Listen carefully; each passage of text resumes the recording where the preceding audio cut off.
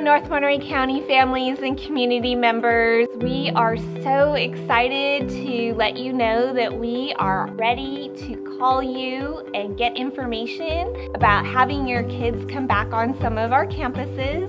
The good news is all of us here in Monterey County have worked hard to make sure that our cases are decreasing and people are getting vaccinated. Our staff was able to participate in a vaccine clinic and what we're looking for here is getting ready to bringing our kids back after our spring break beginning in April. So we wanted to let you know that we're going to be calling you. We're going to be asking you if you're interested in having your child come back on campus for a few days a week. We're starting in our elementary levels first. And so please make sure that you answer the call. Make sure that you have the correct number on file in the school office.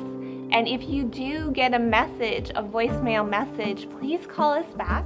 And if for some reason someone doesn't answer the phone because they're probably on the other line talking to another family, please leave a detailed message of what time is good to call you back and what number because we do want to talk to you and find out your interests. I want to let you know that it is optional to uh, have your child come on campus. It's not required. We will still provide distance learning.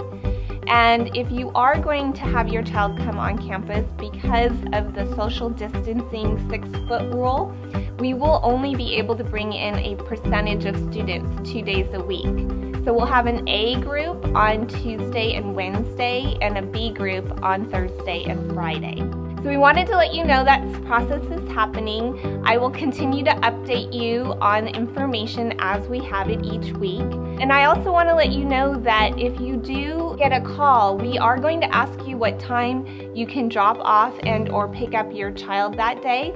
Unfortunately, because of the six foot distancing rule, we will not be able to provide transportation for our students. We're very limited to maybe 250 students can be transported on our buses. So that does mean that we're gonna have to work with you on when we can have your child come on campus. We will provide supervision to the best of our ability if you need to drop off early or pick up later. So please um, look forward to a call from your school coming into your inbox next week.